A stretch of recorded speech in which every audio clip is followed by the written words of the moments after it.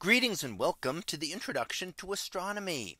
One of the things that I like to do in each of my introductory astronomy classes is to begin the class with the astronomy picture of the day from the NASA website that is apod.nasa.gov apod. And today's picture for October 6th of 2023. Well, it is titled Edwin Hubble discovers the universe. So what do we see here? Well, we see an image taken a little over a hundred years ago, but 100 years ago today, it was labeled and you can see the date there in the middle of this old photographic plate of the Andromeda galaxy for the 6th of October of 1923. And there were a few markings on it. But the biggest thing is the VAR exclamation point in the upper right hand side. And that was the identification of stars within the Milky Way galaxy that were variable. Now, why was that such a big deal?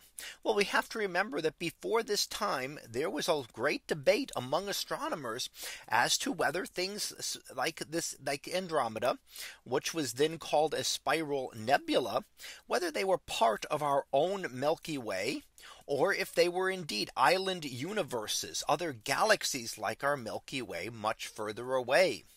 And we really didn't know because we had no way to be able to accurately measure distances. So what was done here is observation of variable stars. How did that help? Well, when we learned that certain types of variable stars called Cepheid variables have a relationship between their variability. So how long it takes them to go from bright to faint and back to bright again and their actual brightness. And that meaning not just how bright they appear in the sky, but what we would call their intrinsic luminosity, how much energy they actually put out. And that allows us to determine their actual brightness just by observing their variations. Now that's important because if we know the true brightness of a star, if we know how bright it actually is, and that's what we mean of that is how much energy it is actually putting out every single second, not just how bright it appears within our sky. How bright it appears in our sky depends on distance.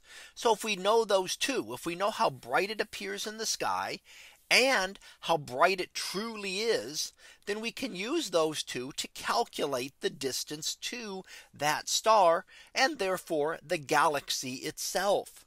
So just a hundred years ago, the identification of these variable stars within Andromeda opened up our understanding of the universe and gave us a much better understanding that the universe was much larger than previously thought that it was not confined just to our Milky Way galaxy, but indeed there were many other galaxies out beyond our Milky Way here starting with Andromeda relatively nearby but many, many other stars and galaxies that are much, much farther away.